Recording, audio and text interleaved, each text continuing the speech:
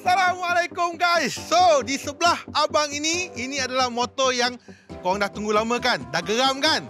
Kan? Kan? Ah, di sebelah abang ini, ini adalah Yamaha Waisuku V3 yang korang cakap tu ataupun sebenarnya dia adalah Yamaha Exciter yang dibawa masuk dari Vietnam. Dan di sebelah abang ini, ini bukannya body kit eh. Ini bukannya kau pasang sini pasang sana eh. Ini adalah the real product. Ya, yeah, ini adalah Waisuku V3 yang paling terawal masuk ke Malaysia.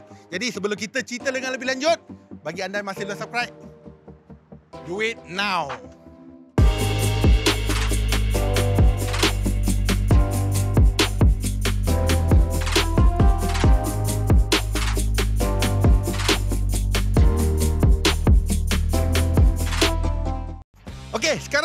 Cerita pasal luaran terlebih dahulu dan sebelum buat cerita uh, luaran, sebenarnya motor ni abang pinjam daripada Rudy, Rudy GTB.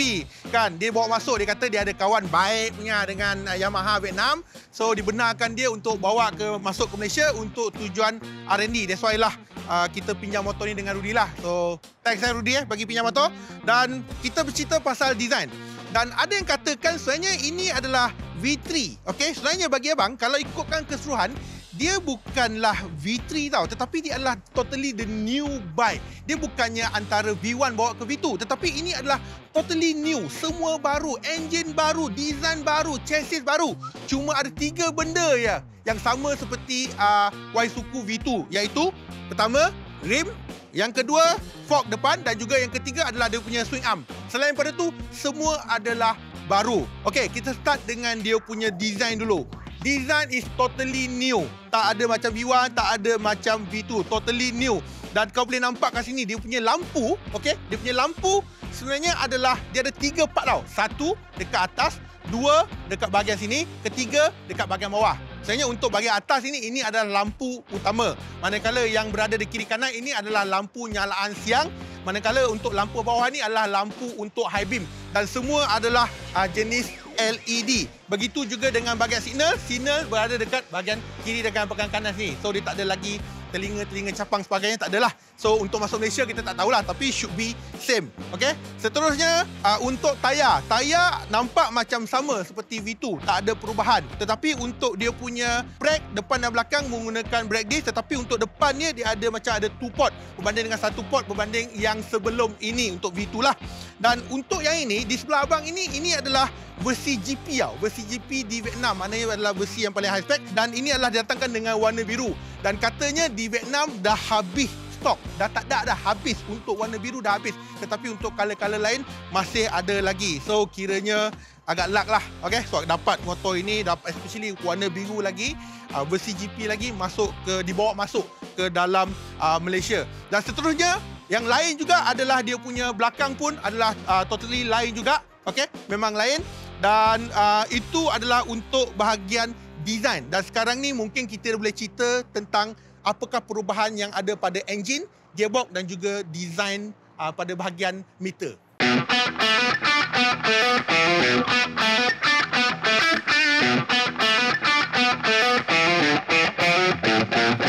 Okay, seterusnya kita nak cerita tentang meter dan juga engine dah. Sebelum itu abang terlepas pandang satu. Untuk lampu belakang saya, lampu belakang nampak seperti R1 katanya. Ha, betul tak betul? So komen lah.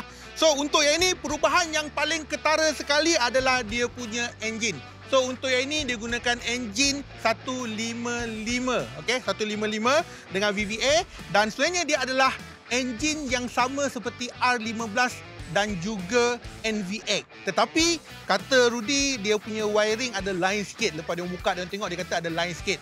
Tapi lepas masuk Malaysia kita tak tahulah.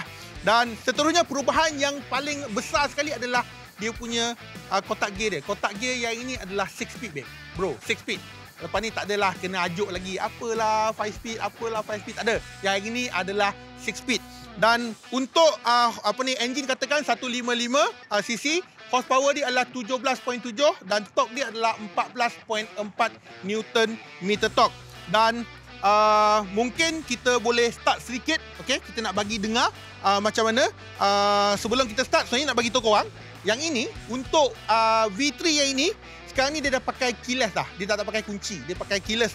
uh, start sama seperti uh, Yamaha NVX. Dan of course dekat sini ada dia kena pulas saja dan untuk seat tekan saja boleh boleh dia dia dia, dia boleh buka so dah tak ada pakai kunci lah.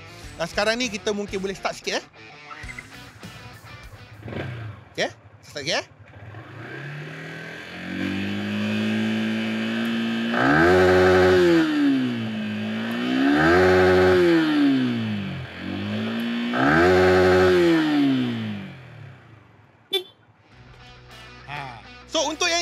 Berbeza dengan V2, katanya V2 dia sampai 10,000 dia dah cut off. Okey, tetapi untuk yang ni dia boleh pergi sampai 12,000 RPM.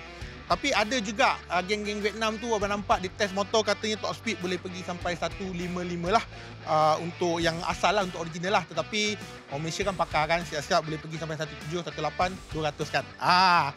So seterusnya uh, cerita pasal perubahan lain. Meter. Meter is totally new. Fully digital. Kita boleh nampak kat sini. Okay. Fully digital. Uh, dia tak ada apa dia cuma ada uh, minyak, RPM dan juga kelajuan serta dia ada jam lah ada benda-benda lain kita tak nak sentuh lah dan seterusnya yang ini sekarang ni dia dah ada 12 volt uh, charging dan of course yang ini pun didatangkan sekarang ni dia ada uh, slipper clutch sekali lah so untuk shifter tak ada tapi untuk slipper clutch ada so uh, itu saja yang ada tetapi yang ini adalah spek daripada Vietnam untuk Malaysia kita tak tahulah so Malaysia kita tunggu uh, lepas dia masuk Malaysia Ah, mana Rudy ni? Kata nak jumpa aku ni. Tak sampai-sampai ni. Ha, Rudy. Power kau dapat motor ni eh? Um, adalah cara dia. so kau bawa motor ni tak apa? Tujuan kau ni? Okay, uh, actually seperti yang kita tahu, geng tayar besar dia banyak uh, modified motor Y suku lah hmm. sebelum ni. So tak lain tak bukan kita bawa masuk motor ni hanyalah dengan tujuan untuk R&D. Ah. Uh, maknanya motor ni saya akan gemukkan nantilah. Okey, okey, okey. Sekarang ni kau suka tak motor ni? Mestilah suka yang terbaru kan. Okey, antara V2 dengan V3 mana lagi kau suka? Okey, uh, actually V1 and V2 ialah banyak sejarah untuk kita. Ya. Yeah.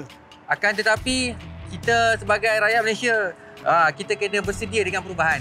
Okey. Uh, macam dekat komen banyak orang komen kata lampu tak lawa lah, kepala jendol lah, kepala ha. alien lah kan. Tapi aku cuma nak cakap macam Gan sendiri dah tengok depan-depan. Ya. Yeah.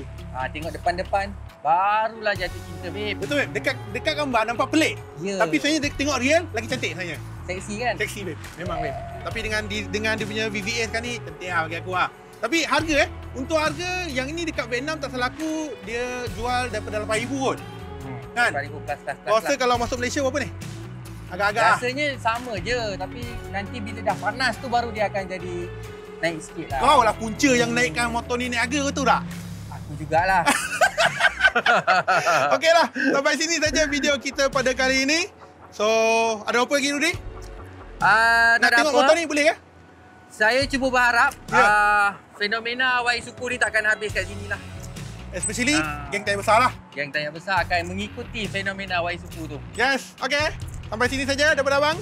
Uh, macam biasa, jangan lupa like dan juga subscribe. Pandu Laju dan juga geng tayar besar. Alright, ciao lo. Assalamualaikum. Bye-bye.